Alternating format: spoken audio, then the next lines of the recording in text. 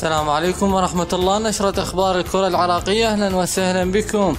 تترقب الجماهير العربية بطولة غرب آسيا في نسختها الجديدة والتي تستضيفها مدينتي كربلاء وأربيل في العراق. من الثلاثين من تموز الجاري وحتى الرابع عشر من آب المقبل بمشاركة تسعة منتخبات.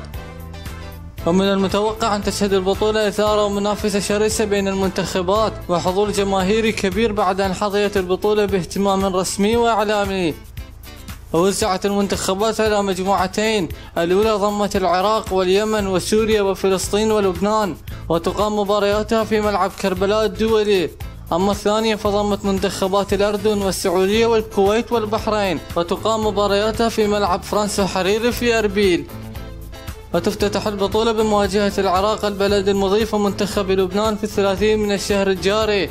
وإليكم جدول مباريات البطولة.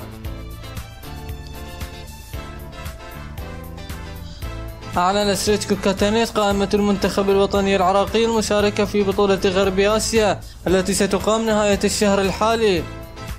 وسيجتمع المنتخب في كربلاء يوم الخميس القادم باستثناء نجوم الزوراء الذي سيلتحقون بالفريق عقب نهائي الكأس في اليوم التالي. وضمت القائمة لحراسة المرمى جلال حسن ومحمد حميد ومحمد صالح وللدفاع أحمد إبراهيم وميثم جبار وسعد ناطق ونجم شوان وعلاء مهاوي وسامح سعيد وضرغام إسماعيل ومصطفى محمد. وفي خط الوسط ضمت كل من صفاء هادي وأمجد عطوان وحسين علي ومازن فياض وكرار نبيل ومحمد قاسم ومهدي كامل وإبراهيم بايش وهمان طارق. ولخط الهجوم كل من علاء عباس ومهند عبد الرحيم وأيمن حسين. وخلت القائمة من جميع اللاعبين المحترفين لأن البطولة غير محترف بها دوليا. منهم المهاجم مهند علي ميمي وجوستن ميرام وأحمد ياسين وبشار رسن وغيرهم. وكذلك غياب الموهبتين أحمد جلال ومحمد داود للإصابة.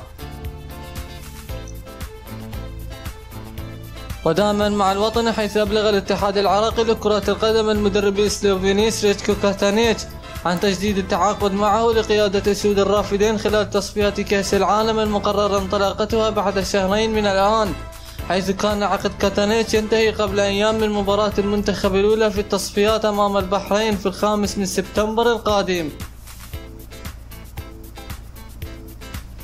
أكملت لجنة اللاعبين المغتربين في اتحاد الكرة بالتعاون مع وزارة الشباب والرياضة أوراق اللاعب المغترب لؤي العاني وبات جاهزا لتمثيل المنتخب الأولمبي.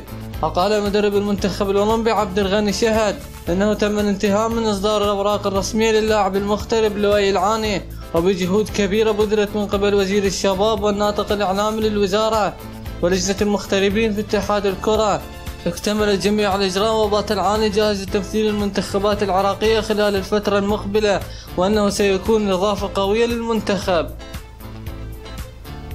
إليكم مواعيد مباريات السود الرافدين في التصفيات الآسيوية المؤهلة للتصفيات النهائية لمونديال 2022 في قطر والتأهل المباشر لكأس آسيا 2023 في الصين.